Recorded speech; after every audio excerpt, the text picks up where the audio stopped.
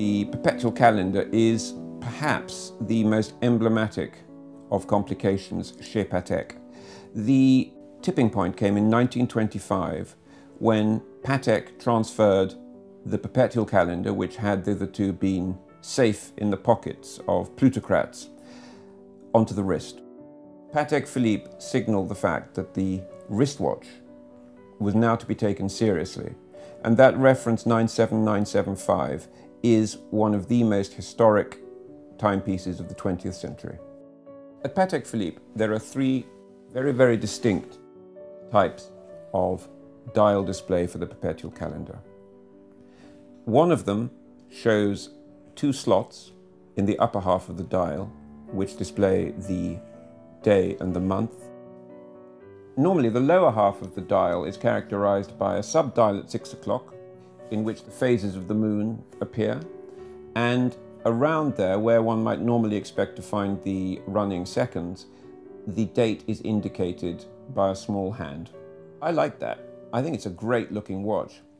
Other people also prefer the uh, method of using several subdials, each indicating a different aspect of the day. So you have the date, the month, the year, the day, all indicated by the passage of hands around subdials.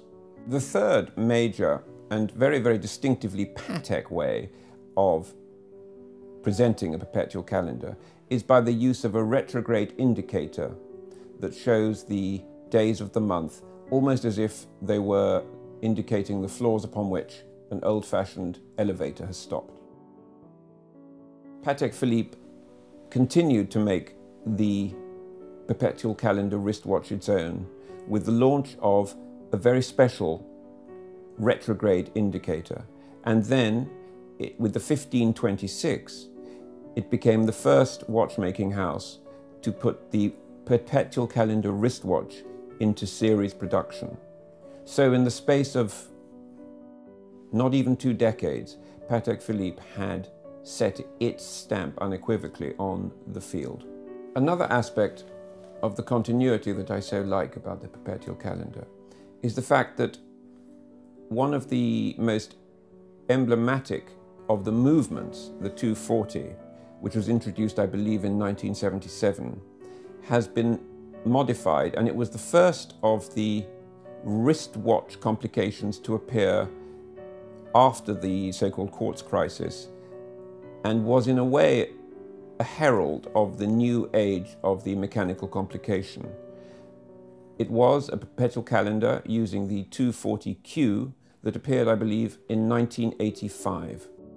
That watch, the reference 3940, again was historically important in that it was, if you like, an amuse-bouche for the horological banquet that would follow, with the launch of the Caliber 89 for the firm's 150th birthday, and the subsequent cascade of complications that have delighted collectors ever since. Personal favourite of mine is the 3449 and the 3448. It demonstrates the classic, for me, layout of the perpetual calendar, managing to convey this world of information in a most discreet and understated manner. It is perfection. Or at least I thought it was perfection until I saw the 5940. This cushion-cased stunner of a watch made its debut a couple of years ago. For me, there is something really magical about this watch.